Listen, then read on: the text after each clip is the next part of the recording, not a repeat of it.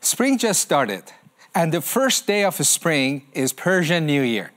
It's a tradition that they set a table and they put some symbolic items on it that seven of them start with S, and they all are good wishes, are good wills for the new year. For example, here is a sweet berry as an indication that I wish and I will for you that you will have a life full of love in your family.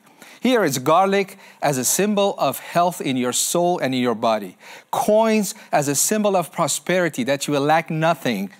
And sprouts as a symbol of abundance. You know what we do during the Persian New Year? Our message is this we tell them, what you wish and what you hope for for your new year, Jesus delivers. Jesus doesn't just tells you to hope for him, to wish for him, but he asks you, he tells you to ask for it, and he delivers.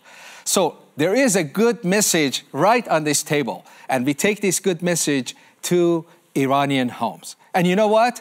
The same message saved us. Jesus delivers hope, love, joy, peace in our own lives. And I want to thank you. Thank you for sharing Jesus with millions of Iranian Muslims who are desperate for Jesus.